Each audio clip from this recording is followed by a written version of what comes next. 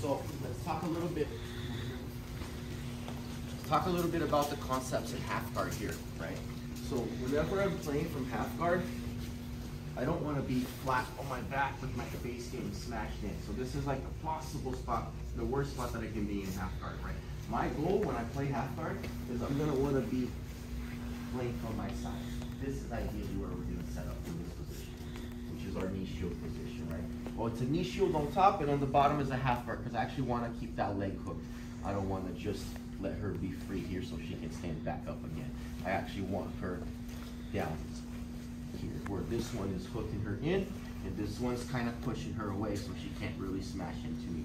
My knee, I'm gonna make sure my knee's not here, where she's gonna sprawl on me. I'm also gonna make sure my knee's not so far wide, where she can get her whole elbow in and start weighing my hips.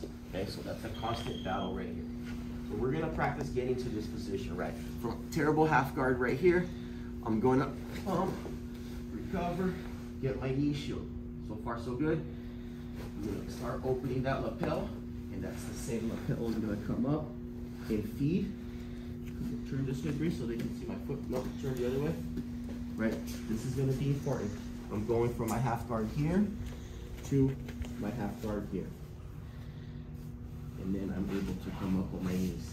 We'll start driving it. Now walk around sweep, but with the lapel variation in it starting all the way from a really bad half guard, so we practice getting out of here.